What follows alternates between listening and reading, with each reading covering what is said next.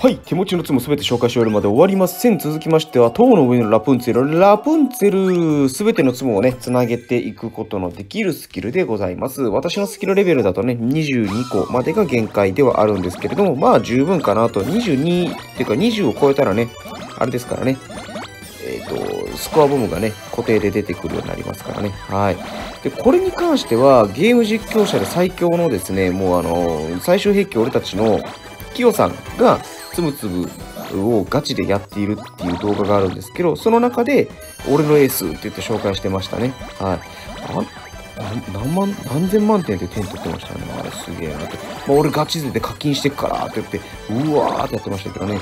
僕はもう、ひよっこなんでね、課金なんてする余裕もありませんから、あの、スキルもね、そんなにね、食べれてませんからね。一応最高は2300万点、一時、あそうですね、2300万点くらいですかね。なんですけど、うん。まあ、ただ、それはね、アリ王子がバグってた時期なんで、修正が入ってアリ王子で高得点稼ぐのはできなくなっちゃいましたけどね。ただね、あれをね、あまりにも点数が取れちゃうっていう喜びを覚えすぎたがゆえに電車の中とかでやってて今思えば超恥ずかしいなって。まああれ大学生くらいの頃だったのかな。大学生か社会人成り立ての頃だったと思うんですけどね。うん。社会人成り立てか。なんか永遠やってた気がしますね。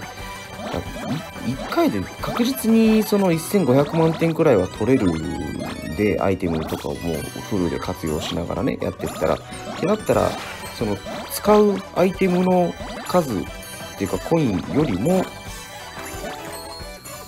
あれ？あれ？え？え？え？え？え？あスキル発動しなかったことになってた。そういうことか。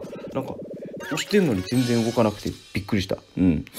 ね使うコインよりも返ってくるリターンが大きいんでそりゃエンドレスで1回に5000コイン6000コイン稼ぐわなっていうことですよねはいということで違うツム同士をつなぐことができるラプンツェルの能力を持ったラプンツェルですね、スキルでした。はい。